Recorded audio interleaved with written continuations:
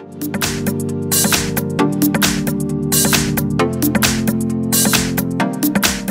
I've got Huawei Honor 20 and let me show you how to speed up the following device.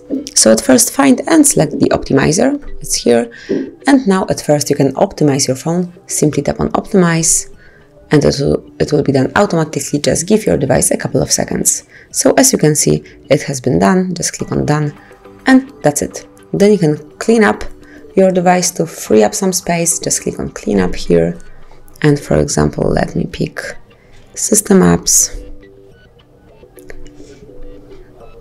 maybe Compass, you can uninstall it and just free some space.